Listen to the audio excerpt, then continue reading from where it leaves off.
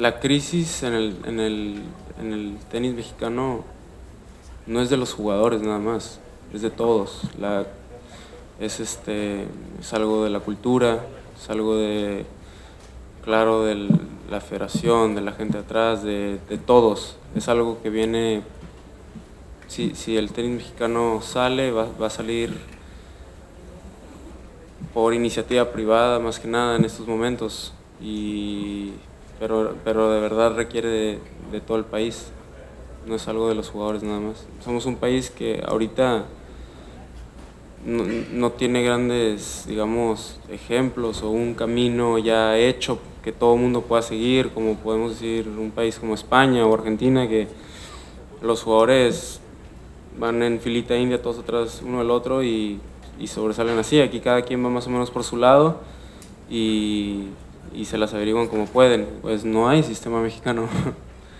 preguntas en cualquier lado cuál es el sistema mexicano o le preguntas a quien sea aquí, oye, ¿cómo juegan los mexicanos?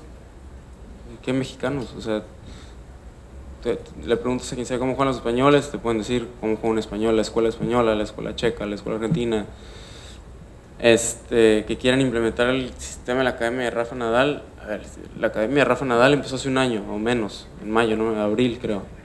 Entonces, este, claro que está, está bien, tenemos que ver a otros países lo que hacen bien este, y, y tratar de, implementar eso aquí, eso lo encuentro perfecto.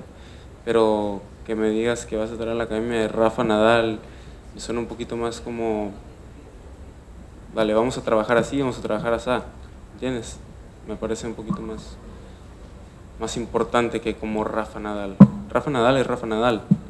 Se pierde un partido o lo que sea y en cualquier red social, en cualquier medio, en cualquier esto, qué vergüenza, qué esto, qué el otro, ¿me entiendes?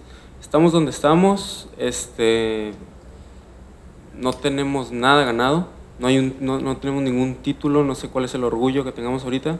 Estamos donde estamos y tenemos que pisar aquí y salir adelante donde estemos con la cara en alto ya. ¿no? Mejorar así día a día y paso por paso, con humildad y, y ya.